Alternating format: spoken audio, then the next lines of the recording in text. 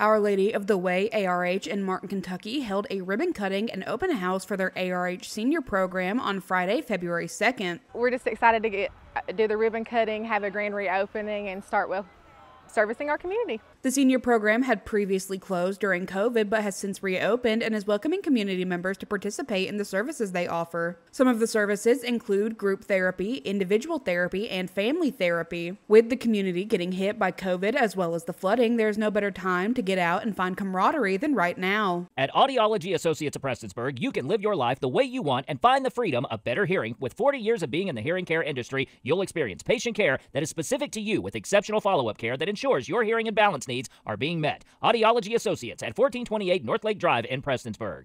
It's good to relate to people. That's a good benefit of group therapy and being able to come here and talk to different people, um, especially older adults.